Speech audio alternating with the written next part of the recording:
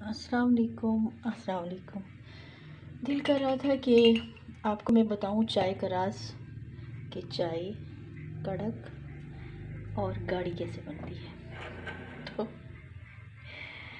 दूध अगर हो, पतला, पानी मिला तो फिर उसका जो तरीका है, वो ये है कि एक कप चाय अगर बनानी हो तो एक कप के लिए एक चाय का चम्मच आप उसमें थोड़े से दूध को निकाल के, ठंडे दूध को, गर्म दूध को, ठंडे दूध को निकाल के एक कप में डाल लें।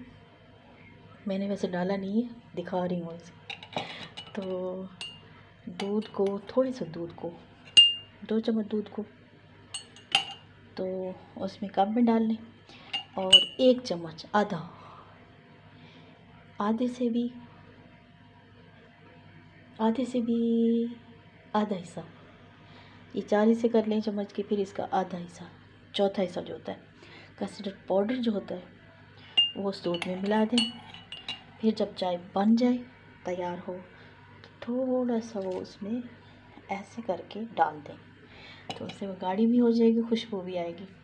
फ्लेवर जो भी हो, आप कस्टर्ड का लेना चाहें, वो और दूसरा तरीका दूसरा तरीका चाय कड़क का ये है कि आप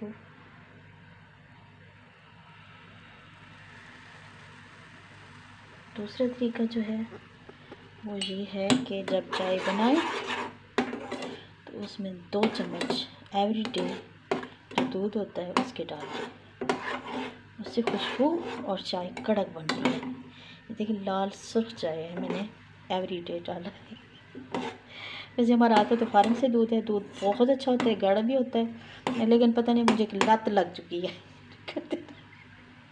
एक नशा से हो गया कि मैंने ऐसी चाय बनानी है बस। तो इसलिए मैं बहुत कड़क चाय बनाती हूँ। उसमें, इसमें चीनी ज़्यादा डलती है। क्योंकि इसका जायका जो है वो बहुत अच्छा लगता है। लेकिन मैं चीनी कम पीती हूँ कड़क होती है चाय कड़क होती है। ये मानना पड़ेगा कि चाय जो है वो कड़क होती है। ये इतनी सुर्ख हो चुकी है ना। और ये मैं आ, ये वाली चाय मैं यूज़ करती हूँ। मुझे ये वाली चाय अच्छी लगती है और कोई भी अच्छी नहीं लगती।